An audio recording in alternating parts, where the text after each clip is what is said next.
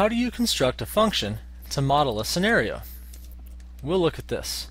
A wild animal park opens with 100 antelope and the population grows 5 antelope per year. So in this lesson you will learn how to construct a linear function by calculating the slope and y-intercept given any representation. Let's review. A linear function has a constant rate of change, which we call the slope, and an initial value, which we call the y-intercept. So, for instance, if we say that every x is tripled, then increased by 2, 2 is our initial value, and tripled, or times 3, uh, is going to be our constant rate of change. So y equals 3 times x plus 2.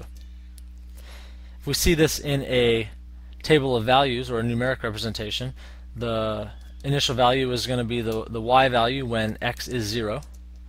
And we can use first differences to identify the value of the slope, which is 3. On a graph, the initial value is the one that where the graph crosses the y-axis, and then again showing the slope, the calculation for the slope is the change in y divided by the change in x. So 5 minus 2 and 1 minus 0, 3 divided by 1 is 3. A common mistake. So I wanted to point this out, so watch out for this one.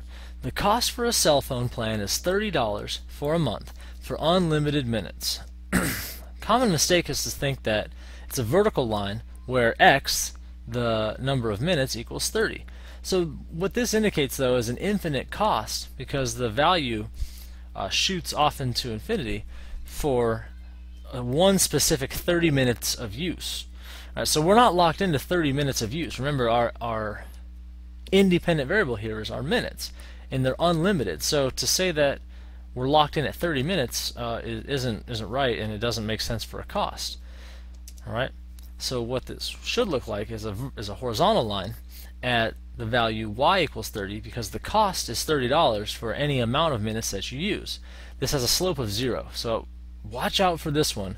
When you find a slope of 0, that's what it's going to look like and that's the type of problem that we'll say um, will have something like that in it. Okay, off to our antelope problem. With a wild animal park, it opens with 100 antelope and the population grows by 5 every year. Well, we know the y-intercept is 100 because that in the wording here, the, ver the verbal representation indicates that we have 100 to start with. And every year, we get uh, 5 more antelope. So if we use our y equals mx plus b, we can replace the b value with 100 and the m value with 5. If we were given a numeric representation, we can identify the initial value because it's the value of the dependent variable when x, or the independent variable, is 0. So before any years have gone by, we start with 100 antelope. That's our initial value. And we can use our first differences again from our table to go ahead and find out what the value of the slope is. Slope is 5 divided by 1, which is 5. So you see we get the same equation or function that we had as the last uh, one. So the situation didn't change, the representation did. So another representation here is our graphic representation. And here what we can do is we can look at, uh, first of all, where the graph crosses the y-axis. So it crosses at 0, comma 100. So at, before any years have gone by, we have 100 antelope. So that's always the mainstay. We can really count on that one. And then to find out the rate of change here, you know, we can count.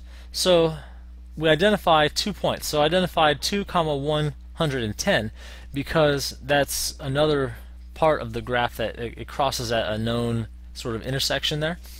And so I count two years, uh, the antelope went up 10, so I can do my change in y divided by change in x, which is 10 divided by 2, and that's 5.